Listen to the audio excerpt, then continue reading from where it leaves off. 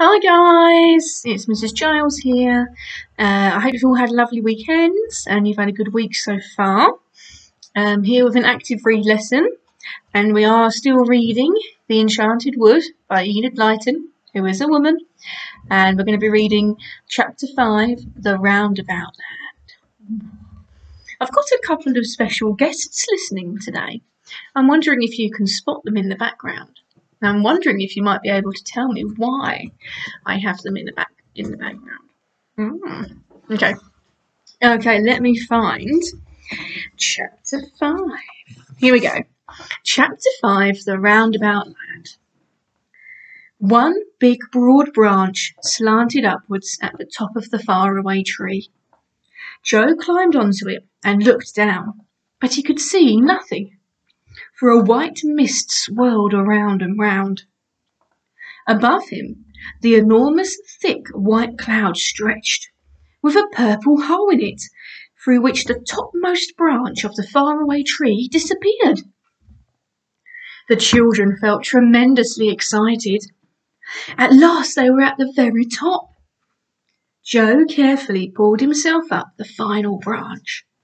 He disappeared into the purple hole. Beth and Franny followed him. The branch came to an end, and a little ladder ran through the cloud. Up the children went, and before they knew what had happened, they were out in the sunshine in a new and very strange land. They stood on green grass. Above them was a blue sky. A tune was playing somewhere, going on and on and on. It's the sort of tune a carousel or a roundabout plays, Joe, said Beth, isn't it? It was. And then suddenly, without any warning at all, the whole land began to swing round. The children almost fell over, with the swing round beginning so suddenly. What's happening? said Beth, frightened. The children felt terribly dizzy. Dist- for trees, distant houses, hills, and bushes began to move around. They too felt themselves moving, for the grass was going round as well. They looked for the hole in the cloud, but it had disappeared. The whole land is going round and round like a roundabout, cried Joe, shutting his eyes with dizziness. We've passed over the hole in the clouds. We don't know where the topmost branch of the faraway tree is now. It's somewhere beneath this land, but goodness knows where. Joe! But how can we get back home again? cried Franny in a fright. We'll have to ask someone for help, said Joe. The three began to walk away from the patch of green field in which they were standing. Beth noticed that they had been standing on a ring of grass that seemed darker than the grass around. She wondered why this was. But she had no time to say anything, for really it was dreadfully difficult to walk properly in a land that was going round and round like a proper carousel all the time. The music went on and on too, hurdy-gurdy, hurdy-gurdy. Joe wondered where it came from, and where the machinery was that worked the strange roundabout land. Soon they met a tall man singing loudly from a book. Joe stopped him, but he went on singing. It was annoying. Hey diddle diddle, ho diddle, round and round and round, shouted the man, whilst Joe tried to make himself heard. How can we get away from this land? Joe shouted. Don't interrupt me, hey diddle ho diddle, sang the man, and he beat his time with, the, with his finger. Joe caught hold of the bony finger and shouted again, Which is the way out of this land? And what land is it? Now you've made me lose my time, said the tall man crossly. I shall have to begin my song again. What is this land, please? Said asked Franny. It's roundabout land, said the tall man. I should have thought anyone would have guessed that. You can't get away from it. It goes round and round, always, and only stops once in a blue moon. Oh, there must have been a blue moon when we climbed onto the land, groaned Joe. It had certainly stopped then. The man went off, singing loudly, Hey diddle ho diddle, round and round and round. Silly old round and round, said Franny. Really, we do seem to meet the most peculiar people. What I'm worried about is getting home, said Beth. Mother will be anxious if we are not back before long. What shall we do, Joe? Let's sit down under this tree and have a bit more to eat, said Joe. So they sat down and munched solemnly. That means a bit downhearted, sad. Hearing roundabout music going on all the time and watching the distant hills and trees swinging round against the sky. It was all very strange. Presently, a pair of rabbits lolloped up and looked at the children. Franny loved animals, and she threw a bit of cake to them. To her surprise, one of the rabbits picked up the cake in its paw and nibbled it like a monkey. Thanks, said the rabbit. It's a change from grass. Where do you come from? We haven't seen you here before, and we thought we knew everyone here. Nobody new ever comes to Roundabout Land. And nobody ever gets away, said the other rabbit, smiling at Franny and holding out its paw for a bit of cake too. Really? said Beth in alarm. Well, we are new to it, for we only came up about an hour ago. We came up the faraway tree. What? cried both rabbits at once flopping up their long ears in amazement. Up the faraway tree, did you say? Goodness, you don't mean to say that's touching this land? Yes, it is, said Beth. But I expect, as this land is swinging round and round, that the topmost branch might be almost anywhere underneath it. There's no way of finding out. Oh, yes, there is, said the first rabbit excitedly. If we burrow down a little way and make a hole, we can see whereabouts the faraway tree is underneath, and we can wait for it to come round again when the land swings above it.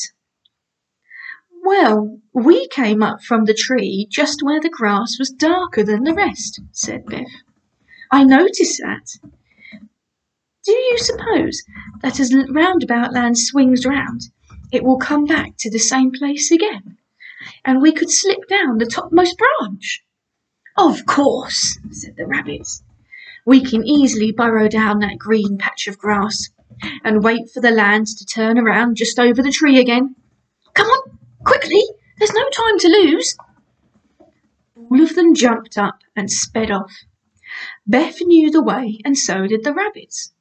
Soon they were back in the field where the ring of dark grass stood. There was no opening now, leading through a cloud down to the tree. It had gone. The rabbits began to dig quickly. Soon they found, soon they found the ladder that led upwards. Then they made such a big hole that the children could see down it to a large white cloud that swirled below the roundabout land.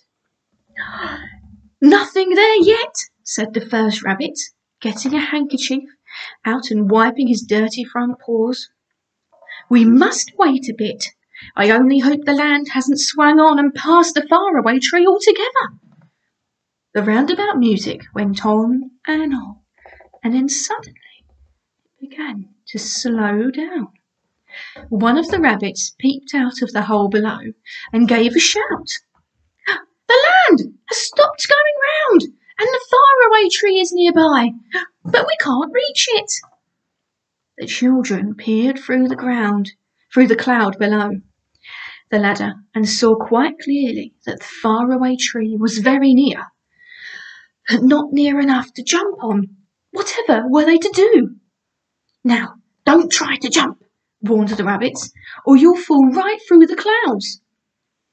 What shall we do? asked Beth in despair. We must get on the tree before we swing away again. I've got a rope, said one of the rabbits suddenly, and he put his hand into a big pocket and pulled out a yellow rope. He made a loop in one end and then threw it carefully at the topmost branch of a nearby tree. It caught and held. Good. Franny, slip down the rope first, said Joe. I'll hold this end. So Franny, rather afraid, slid down the yellow rope to the tree. And then, just as she got there, the roundabout music began to play very loudly and quickly, and the roundabout land began to move.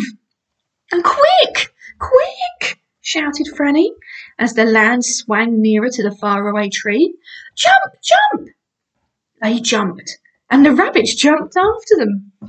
The roundabout land swung off. The big white cloud covered everything.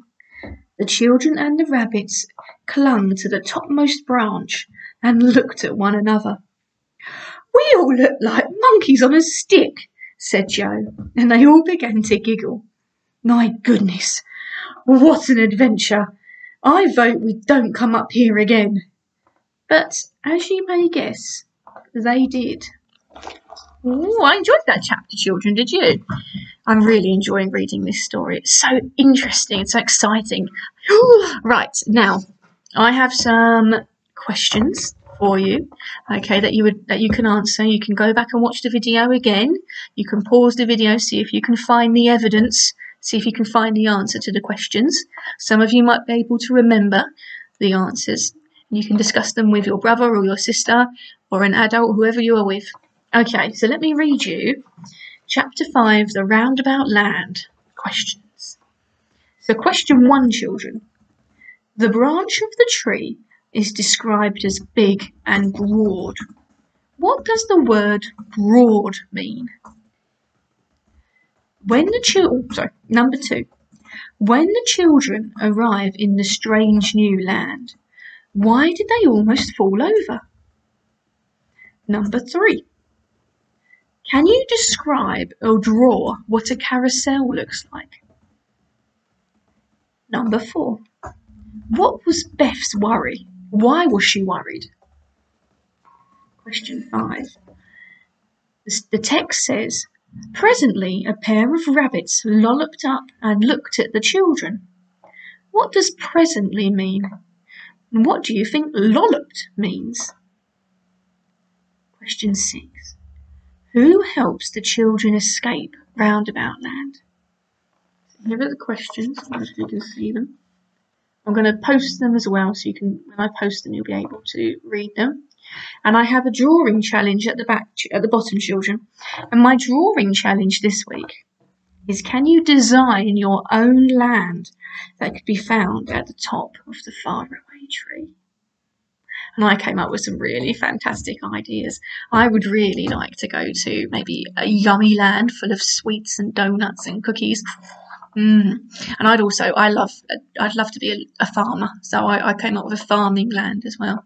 I wonder what kind of lands you'd like to come up with. Maybe you could draw your land and you could post me a picture of what you think your land would look like.